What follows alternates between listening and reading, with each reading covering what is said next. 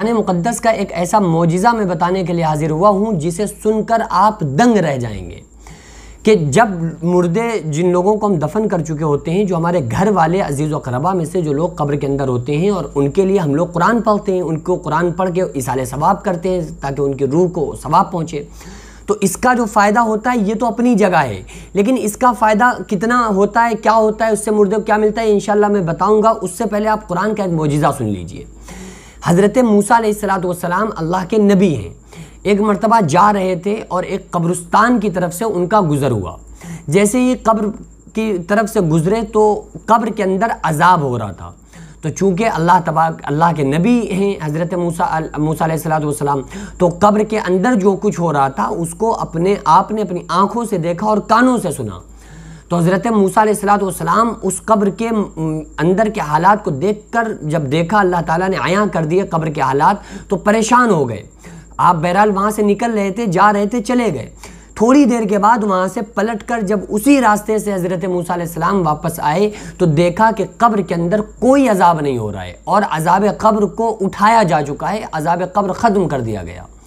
तो हज़रत मूसा ने फ़ौर अल्लाह से पूछा, हज़रत मूसा को कहा जाता है कलीमुल्ला यानी अल्लाह से बातें करना, अल्लाह से बातें कर लिया करते थे, अल्लाह से बातें करने वाले। जब चाहते थे मूसा अल्लाह से बात कर सकते थे, चंद शरात के साथ के कोहतूर पर जाकर अल्लाह से सवाल करते थे, अल्लाह ताला हज़रत मूसा की जवाब का, सवाल का जवाब खुद देता था। तो इसी के लिए हज़रत मूसा को कलीमुल्लाह कहा जाता है। बरह रास्त अल्लाह ताला हज़रत मूसा से पर्दे में रहकर बातें करता था और जो हुक्म देना होता था, कहना होता था, बरह रास्त मूसा से अल्लाह ताला कहता था।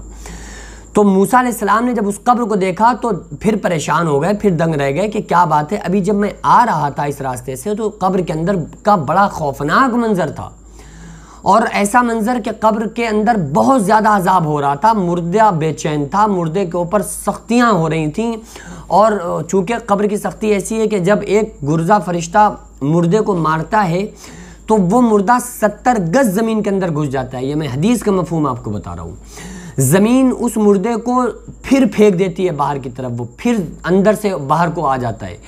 और चूँकि जब मुर्दे को फरिश्ता मारता है तो वो पूरी तरह से उसका दिमाग और सब भीच जाता है ना। सब, यानी कि दिमाग पर जब वो लगता है तो उसके बाद दिमाग उसका फट जाता है और हाथ पैर टूट जाते हैं, कब्र के अंदर घुस जाता है। लेकिन जैसे ही ज़मीन उसको बाहर निकाल के फेंकती है मुर्दे को तो फिर वो मुर्दा फिर ठीक हो जाता है। यानी कि ऐसा नहीं है कि वो एक मरतबा सर फट गया तो अब उसके बाद दोबारा फरिश्ता अगर उस पर कोई सख्ती कर रहा है तो फिर वो ऐसा नहीं है कि उस, उसका तो सर फट ही चुका है ऐसा नहीं है। बल्कि उसका सर फिर सही सलामत कर दिया जाता है फिर फिर उसको फरिश्ता मारता है फिर कब्र के अंदर घुस जाता है। तो ये कब्र के हालात हैं।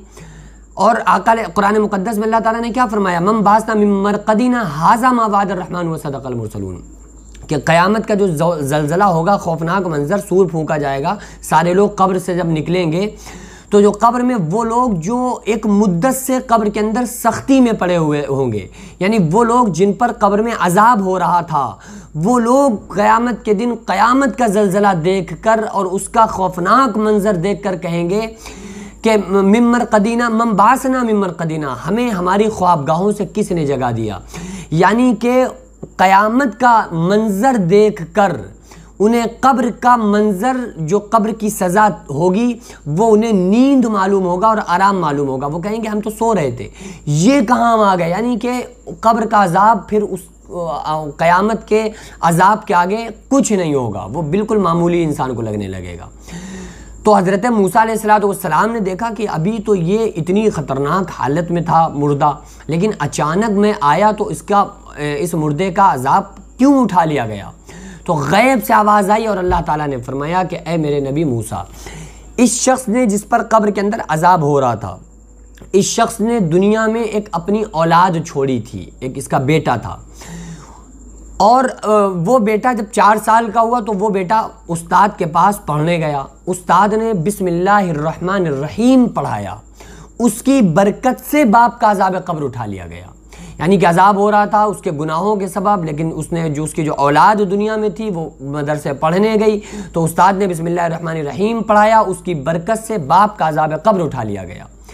तो ये फ़ायदा एक अहम होता है कि जो वालदेन अपने बच्चों को तालीम और इल्म दीन सिखाते हैं तो उनके उनके मरने के बाद कब्र में बहुत बड़ा फ़ायदा होता है कि अगर हम अपने बच्चे को कुरान पढ़ा देंगे तो जब वो ज़िंदगी भर कुरान पढ़ेगा तो उसका सवाब वालदेन को मिलेगा। वो फिर जिनको कुरान पढ़ाएगा, उसका सवाब भी वालदेन को मिलेगा, उसके सवाब में भी कोई कमी नहीं होगी। फिर उसके स्टूडेंट्स उसके जो तलबा बच्चे, उसके पढ़े हुए होंगे, फिर वो जो जिसको पढ़ाएँगे, उसका सवाब भी उन वालदेन को मिलेगा जिसने सबसे पहले अपने बच्चों, बच्चे को इल्म दीन कुरान सिखाया। तो ये सदक़ जारिया हुआ करता है, इसी को सदक़ जारिया करते हैं। तो ज़िंदगी में एक रुपया खर्च करना बेहतर है मरने के बाद सौ रुपये दिए जाने से। तो अगर अल्लाह ने हमें मौका दिया है, वक्त दिया तो ज़िंदगी में हम खर्च कर लें। ज़िंदगी में हम कुरान पढ़ लें, ज़िंदगी में कुरान पढ़ा लें। ज़िंदगी में हम लोगों को कुरान की तरबियत दें और उन अपने बच्चों को कुरान जैसी दौलत जो कुरान की अज़मत है उनको बताएँ और कुरान जैसी दौलत उनको दें और उनको उसका हाफिज़ बनाएँ, कुरान पढ़ाएँ, तर्जुमा पढ़ाएँ। तो इसका फ़ायदा जब हमें हासिल होगा, जब हम अंधेरी कब्र के अंदर होंगे, हमारा कोई पुरसान हाल नहीं होगा, कोई पूछने वाला नहीं होगा। उस कब्र में फिर हमें अल्लाह तबारक ताली उनकी बरकत से, जो जिनको हमने दुनिया में कुरान पढ़ाया था, अल्लाह ताली हमारे अजाब कब्र को इन उठा लेगा। और हम जिनके लिए इसाले सवाब करते हैं तो उनको भी इसका सवाब मिलता है, लेकिन जो दुनिया ज़िंदगी में इंसान कर ले, ये उसके लिए ज़्यादा बेहतर है। आप सोचिए ना कि अगर किसी के पास एक लाख रुपए हैं, एक लाख रुपए, वो एक लाख रुपए में से अगर किसी को पाँच हज़ार रुपये गरीब को दे दे और एक बंदे के पास हैं दो रुपए दो रुपए। वो उनमें से एक रुपया दे दे। तो अल्लाह की नज़र में बेहतर कौन हुआ? वो बंदा जिसने एक रुपया दिया है। क्यों? क्योंकि उसके पास थे ही दो। उसके पास तो दो ही रुपए थे। तो उसने तो अपने रुपयों में से, अपनी प्रॉपर्टी में से आधे दे दिए ना। दो थे, एक दे दिया। उसके पास एक लाख थे और पाँच हज़ार दिए। तो अल्लाह ताला आपकी रकम नहीं देखता आप कितने दे रहे हैं। अल्लाह ये देखता है कि आपके पास कितने थे और आपने उसमें से फिर कितना गरीबों का ख्याल रखा। तो ये डिपेंड नहीं है कि हम कितना दे रहे हैं डिपेंड ये है कि हमारी देने में नीयत क्या है। हदीस पाक में आता है नमल आमालू बिनियात अमल का दारो मदार नीयत पर है। अल्लाह ताला से दुआ है कि अल्लाह तबारक ताला वो तमाम मरहूमिन जो इस दुनिया से रुखसत हो चुके हैं, अल्लाह ताला उनकी बख्शिश फरमाए मफ़रत फरमाए। हम तमाम लोगों को कुरान पढ़ने की, कुरान पढ़ाने की, बच्चों को कुरान की तालीम देने की, उनको नमाज़ सिखाने की, ख़ुद भी दीन पर